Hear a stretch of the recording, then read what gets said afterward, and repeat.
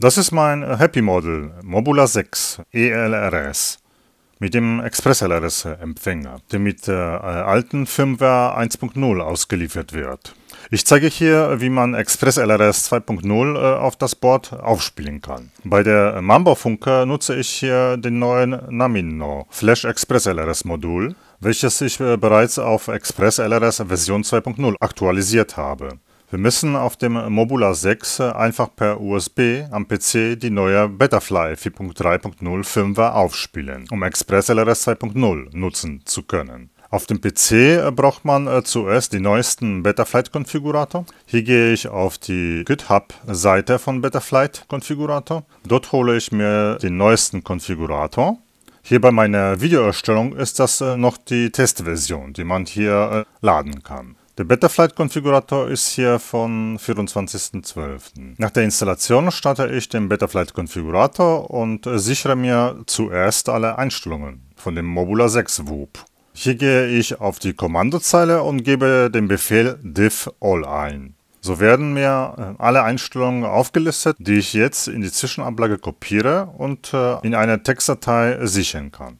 Nachdem ich alles gesichert habe, kann ich die neue Betafly Firmware aufspielen. Betafly erkennt bei dem Mobula 6 ein Omnibus F4 SD Flugcontroller, was aber nicht richtig ist. Also wähle ich hier CrazyBee F4 SX 1280 aus, was der richtige Name für den Happy Model Flugcontroller mit dem SPI Express LRS Empfänger ist. Die Firmware online laden und die Firmware flashen und schon wird das neue Betafly 4.3.0 aufgespielt. Mit dem integrierten Express LRS in Version 2.0. Nach dem Update starte ich Betafly Konfigurator neu und gehe in die Kommandozeile, wo ich wieder alle Einstellungen, die ich gesichert habe, hier einfüge. Einfach den ganzen Text kopieren und in die Kommandozeile einfügen.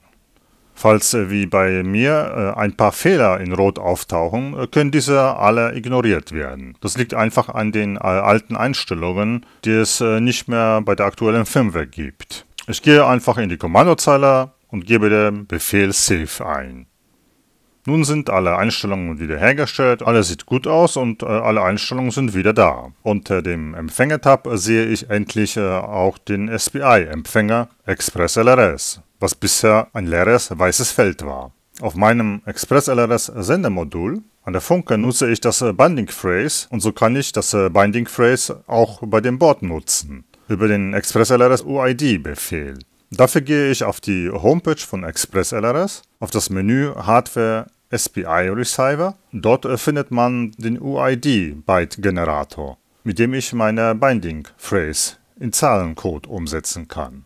So muss ich jetzt nur noch den kompletten Befehl mit den Zahlen kopieren und es bei Betafly Kommandozeile einfügen. Die Änderungen werden gespeichert und der Flugcontroller startet neu. Nun ist mein Mobula 6 ELRS fertig gebunden. Ich muss nur noch den Akku einstecken und schon sehe ich die RSSI-Balken auf der Funker, die mir die Verbindungsqualität darstellen. Bei dem Express LRS Skript kann ich mal nachschauen, womit der Express LRS Sender verbunden ist. Und hier sehe ich den Eintrag Betaflight 4.3.0, was mir sagt, dass ein SPI Express LRS Empfänger verbunden ist über ein Board mit Betaflight 4.3.0. Und äh, Betafly kann ich noch testen, ob die Signale der Funker bei dem Empfänger ankommen und das sieht alles gut aus.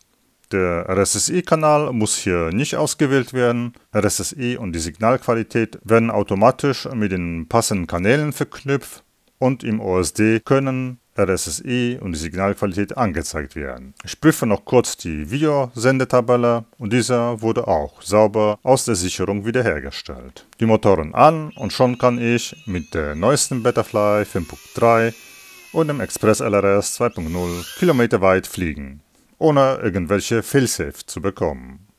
Viel Spaß beim Fliegen!